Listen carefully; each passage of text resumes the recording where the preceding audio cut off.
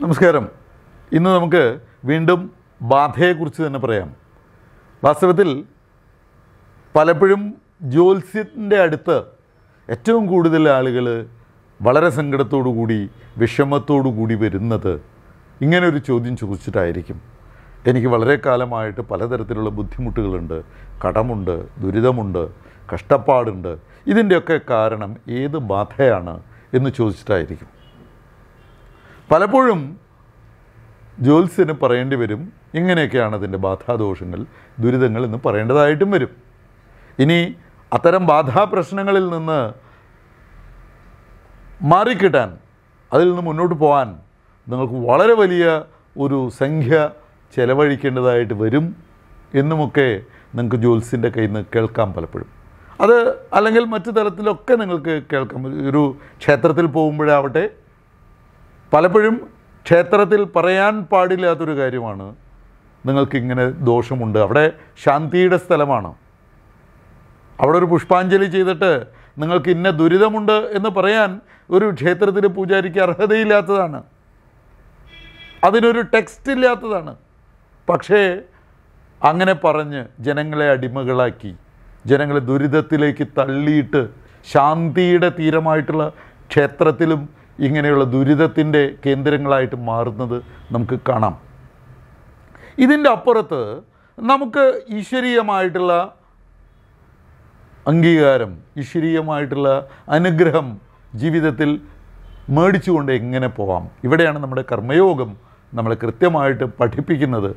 ഞാൻ ഈ ജീവിതത്തിലോ അല്ലെങ്കിൽ ഞാൻ വഹിച്ചു കൊണ്ടുവരുന്ന ജീവ ബീജത്തിലോ ഞാൻ ചെയ്തിട്ടുള്ള അല്ലെങ്കിൽ എന്റെ മേൽ കുറിച്ച് വെച്ചിട്ടുള്ള കർമ്മദുരിതങ്ങൾ അത് ബാധയായിട്ടോ ദുരിതമായിട്ടോ ഒക്കെ എന്റെ പുറകിലുണ്ടെങ്കിൽ അത് മാറ്റിയെടുക്കാൻ ഞാൻ എന്ത് ചെയ്യണം? അതൊരു വലിയ ഒരു പഠന വിഷയമല്ലേ? നമുക്കെന്തായാലും അതൊക്കെ മാറ്റിയെടുത്ത് മുന്നോട്ട് വിജയിച്ച് മുന്നോട്ട് പോകണമെന്ന് ഓരോരുത്തരുടെയും താല്പര്യമാണ്. ഇത് നമുക്ക് വളരെ കൃത്യമായിട്ട് ഈശ്വരീയമായിട്ടുള്ള അനുഗ്രഹം നേടാൻ എനിക്ക് വേണ്ടി നേടാൻ ഏറ്റവും നല്ല ആൾ മറ്റൊരാളല്ല ഞാൻ തന്നെയാണ്. നമ്മൾ ഓരോരുത്തരും തിരിച്ചറിയേണ്ടത് നിങ്ങളുടെ ബാധാദോഷം ദുരിതം മാറാൻ. മറ്റൊരാളല്ല നിങ്ങൾ തന്നെയാണ് കൃത്യമായിട്ട് അധ്വാനിക്കേണ്ടത് നിങ്ങൾ തന്നെയാണ് നിങ്ങളുടെ മനസ്സും ശരീരവും ചിന്തകളും എല്ലാം അർപ്പിച്ചുകൊണ്ട് ഈശ്വരനിൽ നിന്ന് അത് നേടിയെടുക്കേണ്ടത്. അതിനു വേണ്ടിയിട്ട് ഒരുപാട് ഉപായങ്ങളുമുണ്ട് ജീവിതത്തിൽ ജീവിതത്തെ ക്രമപ്പെടുത്തുക. അതുപോലെ തന്നെ നമ്മുടെ ചിന്തകളെ ക്രമപ്പെടുത്തുക. നമ്മുടെ പ്രവൃത്തികളെ ക്രമപ്പെടുത്തുക. അങ്ങനെയൊക്കെ വരുന്നൊരു സാഹചര്യത്തിൽ തീർച്ചയായിട്ടും നമുക്ക് നല്ല അനുഭവങ്ങൾ ജീവിതത്തിൽ ഉണ്ടാവും. ഭയപ്പെടാനുള്ളതല്ല ബാധ. അതിനെ മാറ്റിയെടുക്കാനുള്ളതാണ് ബാധ. ബാധ എന്ന് പറയുന്നത് പലപ്പോഴും ക്രമപ്രവൃദ്ധമായ അല്ലെങ്കിൽ ഇൻബാലൻസ്ഡ് ആയിട്ടുള്ള നമ്മുടെ വികാരങ്ങളുടെ അല്ലെങ്കിൽ വിചാരങ്ങളെ ഒക്കെ നമുക്ക് ബാധ എന്ന് പറയാം ദോഷങ്ങൾ എന്ന് പറയാം.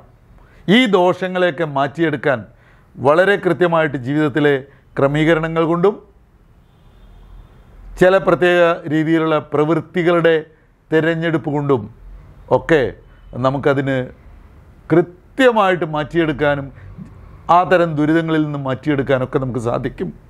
അതിനുവേണ്ടി വളരെ വലിയ ധനമല്ല ചെലവഴിക്കേണ്ടത്. അതിനുവേണ്ടി സമർപ്പിക്കേണ്ടത് ആത്മാർത്ഥമായ ഹൃദയപൂർവമായിട്ടുള്ള സ്വന്തം കർമ്മമാണ്. അതിനു വേണ്ടിയുള്ള നിർദ്ദേശങ്ങൾ ശരിക്കും ഒരു ജ്യോത്സ്യന് നിങ്ങൾക്ക് തരാൻ പറ്റും. ജ്യോതിഷത്തിലെ ജ്യോതിഷത്തിലൂടെ നമുക്ക് ജീവിത വിജയം നേടാൻ പറ്റും. അർഹതയുണ്ടെങ്കിൽ. അർഹതയുണ്ടെങ്കിൽ കർമ്മപരമായിട്ട് നമുക്കതിന് അർഹതയുണ്ടെങ്കിൽ തീർച്ചയായിട്ടും അത് നമുക്ക് നേടിയെടുക്കാൻ പറ്റും. ആ അർഹത ഒരു ഒരു മന്ത്രവാദിക്കും ഉണ്ടാക്കിയെടുക്കാൻ പറ്റില്ല.